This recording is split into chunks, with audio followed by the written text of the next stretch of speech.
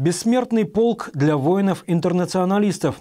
Родственники солдат и офицеров, погибших при исполнении интернационального долга, принесли портреты своих родных на памятный митинг в честь вывода советских войск из Афганистана. У мемориала в Центральном парке Йошкар-Олы собравшиеся почтили минуты молчания павших воинов и возложили цветы к вечному огню.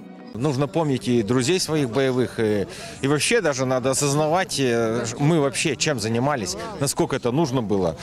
В то время, понятное дело, а сейчас, вот насколько это нужно сейчас. Поэтому здесь понимая, что да, действительно, что это патриотическое воспитание, что люди помнят, что это надо, и э, большое количество здесь собравшихся, оно как раз и об этом подтверждает. Война в Афганистане перечеркнула судьбы более трех тысяч солдат и офицеров из МРИЭЛ.